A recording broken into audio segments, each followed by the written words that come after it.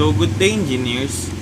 So, para sa video natin na to, ang i-discuss natin is yung last uh, type ng steel ratio na kailangan natin para ma-design yung singly reinforced beam at part pa rin to ng steel reinforcement and concept ng design ng singly reinforced beam and also this is still a factor to be considered in the design of singly reinforced beam. So, para sa video natin na to, we will be discussing the maximum steel ratio or the ROMAX. Si ROMAX meron yang tatlong possible equations. So, that is rho max is equal to 0.75 ng rho balance which is in old code and this one is coming from the NSCP 2015. Uh, 20, uh, 2001 rather. So, yan is old code na. So, possible na hindi na siya gamitin for the board exam since uh, we will be using the 2015 edition of the NSCP for the board exam. So, the possibility is ang gagamitin na natin na maximum steel ratio will be the for 0.005. So, meron kasi pa tayong dalawa which is row for 0.004 and row for 0.005. Yung row for 0.004, this is the strain limit of a beam.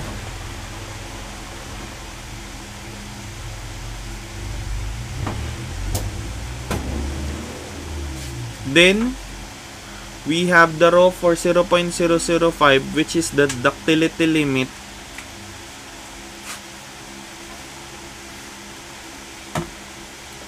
of a beam. So, syempre, kaya siya tinawag na ductility limit of a beam. And kasi, yung gamit natin dyan na strain is 0.005. So, which is, sabi nga natin from our previous discussions, na si 0.005 or greater na value ng strain, we considered it as ductile or tension controlled. So, magsimula tayo kung, san, kung paano natin nakuha 0 na 0.004 para hindi na natin kaabisaduhin yung formula na 3 over 7.85 f prime c beta 1 over fy. So, para dito pala sa discussion, uh, sa isosolve din natin na equation and sample problems, we will be using the raw maximum as the ductility limit. So, ang binagagamitin na nating raw max will be coming from the ductility, uh, ductility limit of rho which is 0.005. So, paano nga ba nakuha 0 na 0.004? So, 0 na 0.004 is governed by the NSCP section 409.3.3 which is entitled as Reinforcement Strain Limit in Non-Pre-Stressed Beams. So, as you can see, nandun yung word na strain limit in non-pre-stressed beams. So, ibig sabihin nun, from this provision, nakalagay, for non-pre-stressed beams with piece of view less than or equal to 0.1 f prime CAG, epsilon sub t shall be at least 0.004. So, sa beam naman natin, hindi natin maiiwasan na meron niyang axial load. So, kapag daw yung axial load mo dyan, or the ultimate axial load is less than 0.1 f prime c of AG, so ibig sabihin, ang limit mo para ma-considered pa siya as a beam is 0.004. So, ibig sabihin, if epsilon sub t is less than or is greater than or equal to 0.004, this is still considered as a beam or as a flexural member. Kasi alam natin si beam, ang inire-resist niya talaga is flexure or the bending moment. So, we considered a structural member having an epsilon sub t greater than or equal to 0.004 as a beam. So, pag bumaba yan ng 0.004, yung epsilon sub t natin, we consider this one as a compression member.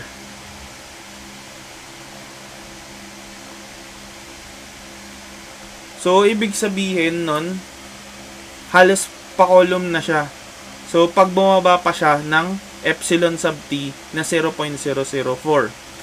Then, as you can see, kapag nandun ka sa part ng epsilon sub t na 0.004 to 0.005, you are still on the transition zone. So, ibig sabihin, may chances na ang reduction factor mo is between 0.65 to 0.9.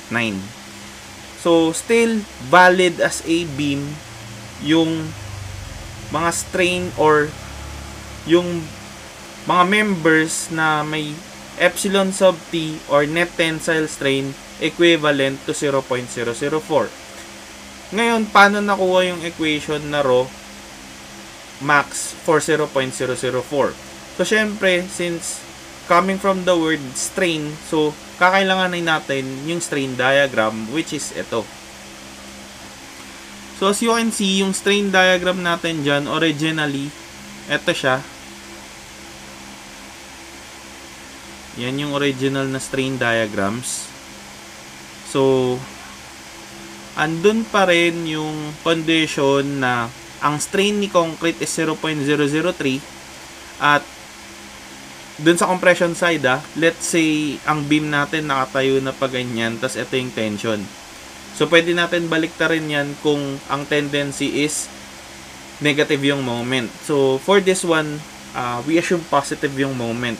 Then we assume epsilon sub t equal to 0.004 kasi nga that is the strain limit. So pwede natin gawin as a tendency na ibaba si 0.003 papunta dito sa base. So, ibig sabihin, may mabubuo ka din dyan na new triangle which is ito.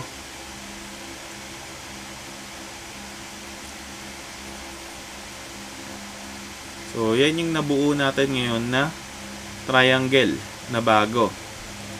So, having a height D and a base 0.003 plus 0.004. So, meron pa rin tayong distance from the extreme compression strain to the zero strain na C sub 0.004. So, getting a similar triangle, we will have 0.004 or 0.003 yung nasa taas divided by C na 0.004. So, we are considering the triangle here. So, yan siya. Then, equal to, consider natin yung bigger triangle, which is ito. So, syempre, that is 0.003 plus 0.004 over D. So as you can see, pwede natin mapalabas dito si C na 0.004 which is equivalent to a value na 0.003 divided by 0.003 plus 0.004 D. So, simplifying this one, we could have 0.00 uh, C of 0.004 equivalent to 3 over 7D. So, meron na tayong C of 0, uh, 0.004. Now, we proceed in getting the stress diagram. So, syempre, sa stress diagram natin, ang gagamitin pa rin natin dito is yung static equation na C is equal to T. Or yung compression force is equal to our tension force. So, we assume a completely rectangular beam dito sabi ko nga. So, ibig sabihin, walang butas on the compression side. So, still it is valid as 0.85 F prime C. Pero yung A natin dito is for a strain limit 0.004 times B is equal to AS of 0.004 times the FY. Kasi nga, we assume still stills are yielding. So, syempre, yung A na 0.004 dyan, pwede nating gawing beta 1 C 0.004 at yung AS na 0.004 is equivalent to a rho na 0.004 BD. So substituting these values to our static equation, we could have 0.85 F prime C beta 1 A na uh, C na 0.004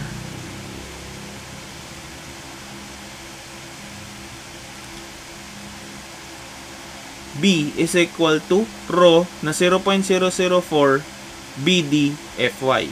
So you can see we can cancel out B.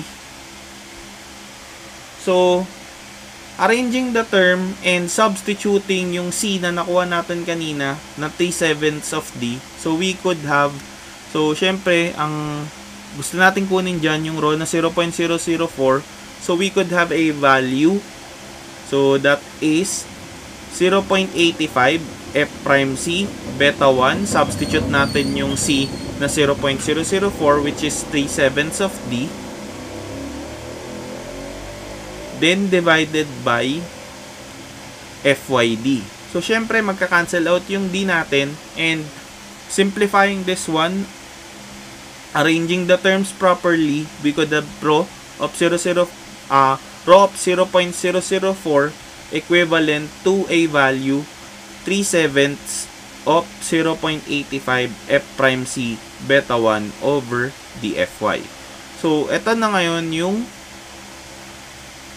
maximum uh, maximum steel ratio for the strain limit of a beam. Now, paano naman natin nakuha yung rho for the 0.005? Makukuha natin yon by using steel, yung strain diagram natin. So, ito siya.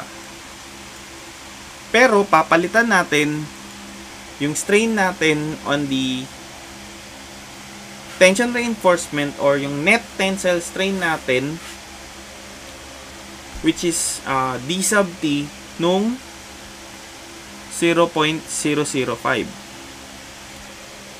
or yung D natin na 0.005 So that means uh, we are assuming here na singly reinforced to or single layer lang yung beam. Kaya D is equal to DT dito. So 0.005. So syempre that is equivalent now to uh, a value. Syempre ganun din yung gagawin nating procedure. So, meron kang triangle na original coming from the original strains. Then, ibababa natin yung 0.003 para magkaroon ka ng isang malaking triangle which is ito.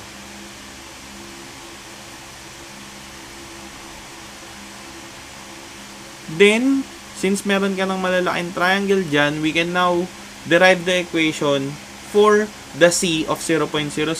So, similar triangles ulit, 0.003 divided by the height, C, 0.005 is equal to the bigger triangle which is 0.003